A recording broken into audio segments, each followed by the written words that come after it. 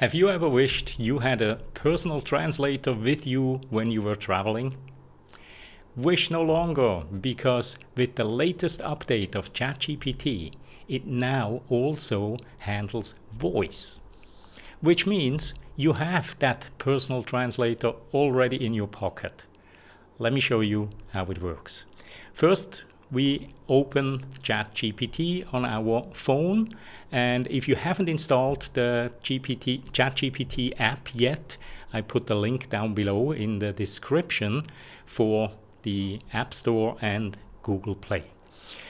So once you open ChatGPT, and by the way, this feature only works with the paid version, absolutely worth the $20 a month though, um, then go to the three little dots in the upper right corner and click on settings.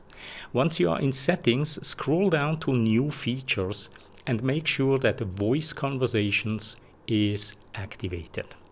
Once you have done that, then you're ready to engage with ChatGPT with voice.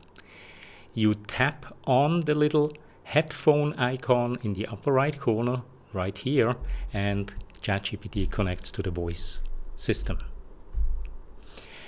ChatGPT assume the role of a translator from German to English and English to German.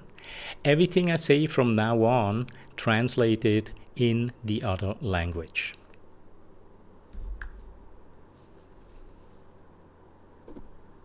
Sure, I can help with that. If you speak in English, I'll translate to German, and vice versa. Whenever you're ready, go ahead and start speaking.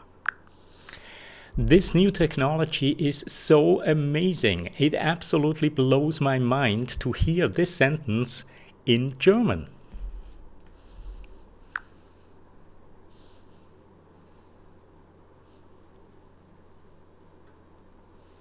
Diese neue Technologie ist so erstaunlich. Es haut mich einfach um, diesen Satz auf Deutsch zu hören. Wirklich umwerfend, weil das Ganze wurde so exzellent übersetzt. Mich wundert, wie das funktioniert.